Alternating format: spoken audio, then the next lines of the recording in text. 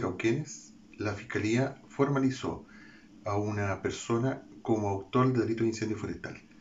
Este hecho habría ocurrido en el sector de Curimanque, comuna de Cauquenes, lugar donde un operario de vialidad, utilizando una máquina desbrozadora, habría realizado cortes de maleza eh, que habrían, eh, con sus aspas, con su cuchilla, habrían provocado chispas que generan posteriormente un siniestro. Atendido que esta emergencia forestal causó daños en 15 hectáreas de predios de particulares y de empresas forestales, eh, se denunció el hecho y posterior detención de este imputado. El Ministerio Público, de formalizar la investigación, solicitó medidas cautelares, las que fueron concedidas por el tribunal, que corresponden a arraigo nacional y la prohibición absoluta de acercarse al predio donde se inició el siniestro por culpa de este operario.